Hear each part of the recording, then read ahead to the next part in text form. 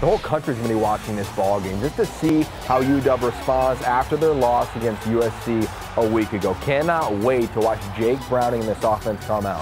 Now, when you look at this ball game from a personnel standpoint, think about it. You got Manny Wilkins, Jake Browning, two of the top young quarterbacks in this conference, let alone the country. You got Tim White at wide receiver, N'Keal Harry, dominant wideouts for ASU. Then, oh, by the way, John Ross, All-American, Myles Gaskin, big-time running back, Dante Pettis, Chico McClatcher. You got skill players for days in this ball game. There might be big-time points with this offense, but I really cannot wait to watch both these quarterbacks against the opposing defense. Now, for Manny Wilkins, going up against defense is depleted. Joe Mathis, we know he's been out. Azeem Victor now out after getting hurt against USC. How does he attack the middle of the field? How does he deal with the rush off the edge? Because UW's only going to bring about four. They very rarely blitz. Can Manny Wilkins get back to being the guy we saw early this season? Then, of course, Jake Browning. He's known as a guy who can dissect defense, who gets into the film room. Well, he's going to see blitzes from all over the place from this ASU defense. Can he understand where it's coming from and make them pay with big plays, intermediate routes, and, of course,